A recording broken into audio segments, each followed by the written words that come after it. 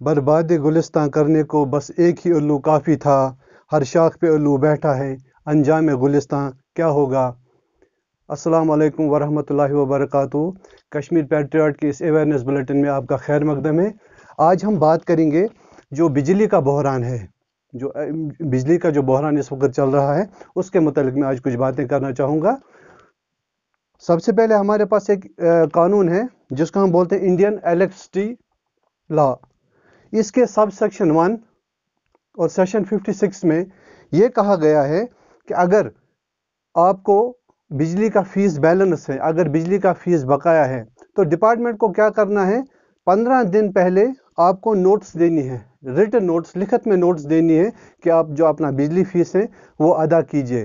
पंद्रह दिन के बाद भी अगर आपने बिजली नहीं बिल नहीं पे किया तो उसके बाद डिपार्टमेंट को ये इख्तियार है कि वो आपकी बिजली लाइन जो है वो काट सकते हैं। लेकिन उसमें कुछ शरूतें हैं, कुछ शराइतें हैं। ऐसा नहीं है कि जो जो हम ट्रेंड आज देख रहे हैं, जो कंटिन्यूसली चल रहा है ट्रेंड हमारा, कि जो हमारे लाइनमैन हजरात हैं, वो किसी मोहल्ले में, गाँव में जा रहे हैं और वो वहाँ से जो ना बिजली की तारें काट रहे हैं, कट कर रहे हैं उनके इलेक्ट्रिक सप्लाई ये कह रहे हैं कि आपका फ़ीस बैलेंस है।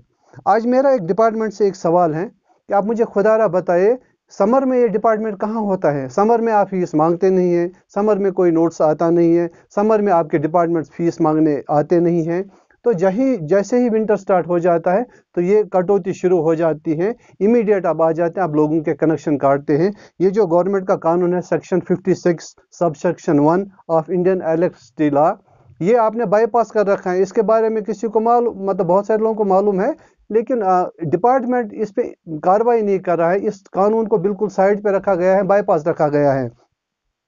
तो मेरी गुजारिश है लोगों से कि अगर आपके साथ कभी ऐसा मसला हो कि बिना नोट्स के आपकी बिजली काट दी गई तो आप डिपार्टमेंट को डायरेक्ट केस कर सकते हैं। आप केस किन वजूहत पे कर सकते हैं कि आपके बच्चों की जो पढ़ाई है, वो लॉस हो सकती है। क्योंकि जब आपका मोबाइल चार्ज नहीं था जब बिजली काटी गई तो आपका मोबाइल चार्ज नहीं रहा तो बच्चों की एजुकेशन बड़ों की एजुकेशन वो उससे, उसमें मुतासर हो रही है। अच्छा कोविड का दौर चल रहा है। बहुत सारे घर ऐसे हैं जिनके घर में पेशेंट से ऑक्सीजन कंसनट्रेटर चल रहे हैं। तो उनकी उनकी जान जा सकती है अगर उनकी बिजली काट दी गई। या और बहुत सारे प्रॉब्लम ऐसे हैं जो बिजली ना होने के कारण हो सकती हैं। अगर किसी को भी पंद्रह दिन नोट्स दिए बगैर बिजली काट दी गई है तो वो इस पर एक्शन ले सकता है और इन पर केस कर सकता है बिजली डिपार्टमेंट। और बिजली डिपार्टमेंट से भी मेरी रिक्वेस्ट है, आप ये जो सारे कानून फॉलो विंटर के चार महीनों में कर रहे हैं तो क्या बिजली डिपार्टमेंट को ये मालूम नहीं है कि कश्मीर में हर साल बर्फबारी हो रही है? तो जो हमारे इलेक्ट्रिक पोल लगे हुए हैं, आप वो देखिए कहीं पर भी आप अपने अड़ोस पड़ोस में नज़र मार के देखें, वो बिल्कुल डाउन हो गए, वो टेढ़े हो गए हैं। आयरन पोल हैं उनको गवर्नमेंट को पहले ये देखना होता है कि इसको कितना अंडर करना पड़ता है। लेकिन करप्शन का एक बड़ा हिस्सा है इसमें कि जितनी उनको डेप्थ जितना ज़मीन के अंदर वो पोल लेना होता है, उतने लेते नहीं है वो। जैसे ही बर्फबारी होती है, वो पोल गिर जाते हैं, तारे टूट जाते हैं, गिर जाती हैं, महीनों भर बिजलियाँ नहीं रहती है। और डिपार्टमेंट को ये भी मालूम है कि किस इलाके में कितना लोड है तो उस हिसाब से वहाँ पर ट्रांसफार्मर ही इंस्टॉल नहीं है।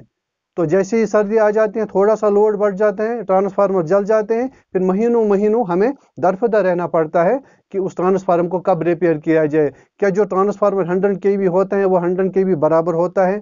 और जहाँ से उसको रिपेयर होना है, वो रिपेयर किस स्टैंडर्ड से हो रहा है?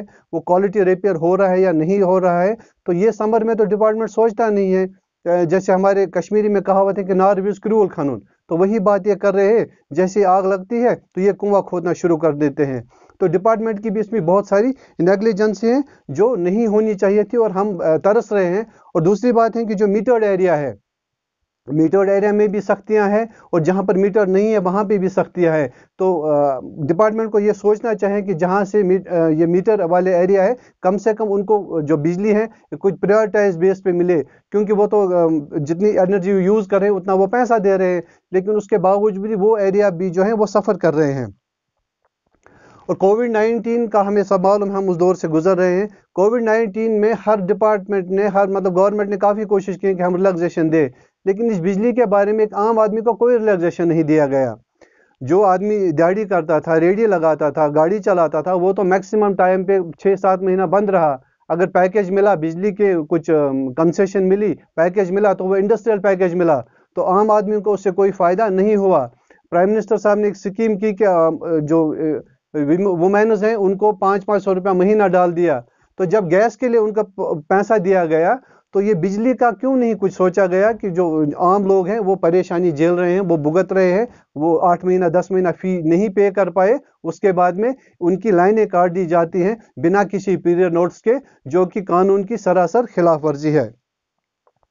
कुछ ऐसे भी डिपार्टमेंट्स हैं गवर्नमेंट और सेमी गवर्नमेंट डिपार्टमेंट्स ऐसे हैं, जिनके 10 लाख 20 लाख 30 लाख, यहाँ तक एक एक करोड़ भी उनकी बैलेंस है फ़ीस तो मुझे नहीं लगता है कि उन्हें कभी लाइन काट दी गई। अगर लाइन काट दी गई तो एक गरीब आदमी की तीन, चार, पाँच हज़ार रुपये के जिसकी बैलेंस है, उसकी लाइन काट दी गई है। तो मेरी रिक्वेस्ट है डिपार्टमेंट से उनकी लाइनें जो है इमीडिएट रेस्टोर की जाए और इलेक्ट्रिसिटी के बारे में, इमीडिएट बिजली के बारे में सोचा जाए, ताकि हम इस आने वाले जो विंटर तो स्टार्ट हो गया, विंटर चल ही रहा है आज बर्फबारी भी हो रही है तो हमें ज़्यादा से ज़्यादा तकलीफ़ ना हो। और दूसरी बात, मेरी लोगों से भी रिक्वेस्ट है कि जो अननेसेसरी वो हुकिंग करते हैं, जिससे हमारा अपना ही नुकसान होता है, और हुकिंग करते हैं हम। या हमें कोशिश करनी चाहिए कि हम अपने जो ड्यूज़ हैं, वो बिल्कुल हम क्लियर करें और वक्त पे फ़ीस भरें ताकि विंटर के ऐसे हालातों में हमारी बिजली कनेक्शन ना कटे। लेकिन मेन एक इंपॉर्टेंट पॉइंट है मेरा जो मैं रिक्वेस्ट करना चाहता हूँ, इसके बाद में वीडियो क्लोज कर रहा हूँ। रिक्वेस्ट है मेरी आपसे कि ये जो इंडियन बिजली का जो लॉ है वो है sub section one of fifty six तो उसका बिल्कुल तवज्जो दें उसकी तरफ़ कि हम बिजली कोई भी लाइन में डायरेक्ट आके लाइन नहीं काट सकता है। इलीगल है ये गैर कानूनी है। कम से कम लिखित नोटिस डिपार्टमेंट को पंद्रह दिन पहले देनी है। उसके बाद में ही डिपार्टमेंट बिजली की लाइन काट सकते हैं। शुक्रिया। अस्सलाम वालेकुम।